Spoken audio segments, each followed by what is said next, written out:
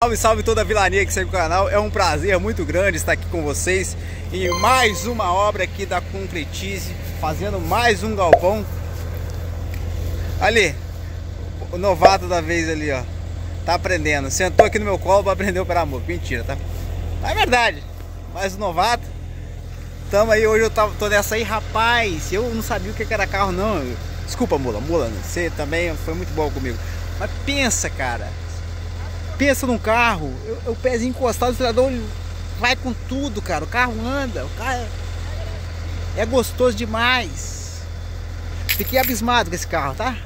420, gostei muito.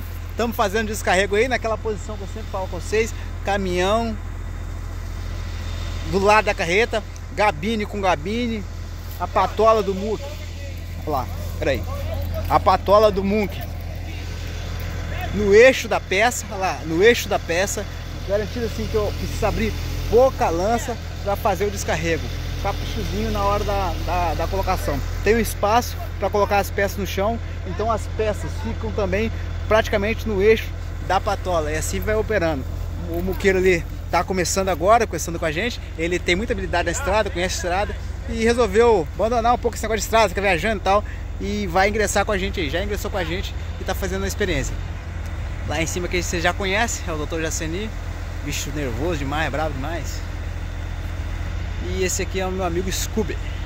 Scooby-Doo, meu filho!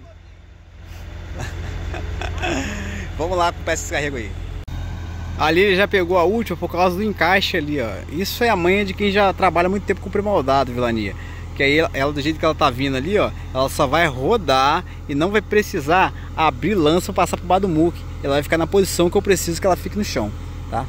Mas isso aí não é com a gente não, é para quê? Porque como eu já trabalho com pré-moldado, você vai pegando essas dicas aí, porque ela fica o pacote em cima da carreta. Você for olhar como está a montagem da carreta, que ela cabe quatro embaixo, seria ideal você replicar isso no chão, porque a peça vai ficar toda montadinha, organizadinha.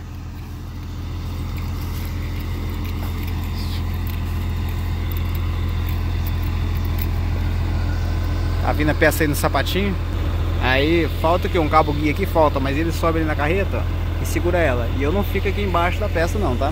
Já dei a dica e falo para vocês, saiu do risco, abaixa a peça. Saiu do risco, saiu de qualquer obstáculo, trabalhe sempre com a peça o mais próximo ao chão possível. Isso vale para qualquer coisa, Vilania. Vale para qualquer coisa, qualquer trabalho, né?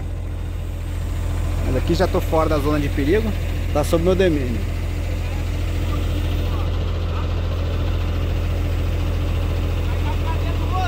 Isso. Eu acho que vai caber quatro. Vamos ver. Aí.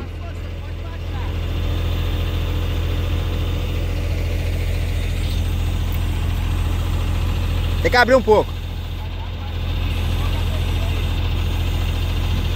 Vai. Pode cair.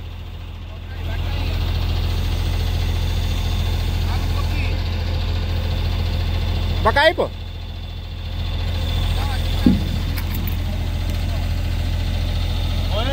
Pronto.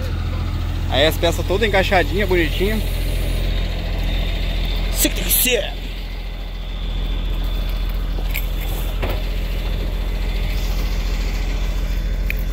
Boa.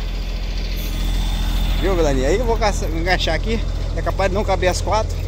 Vai caber só três, porque a madeira é pequena. Mas a forma, formação como é que ficou perfeitamente. E vamos lá. Daniel, eu como eu falo, eu tô meio sumido aqui do canal, mas tô, sempre que eu tô podendo, tô deixando algumas dicas aqui, deixando alguma é, orientação, respondendo alguns comentários, mas realmente eu tô um pouco distante da operação do MUC, né? É, enfim, o trabalho tá apertado, tô espirrando, eu sou um cara que faz bastante coisa, né? E, enfim, não estou muito diretamente na operação do MUC. Mas não desista o canal não. Obrigado vocês que estão comigo até agora.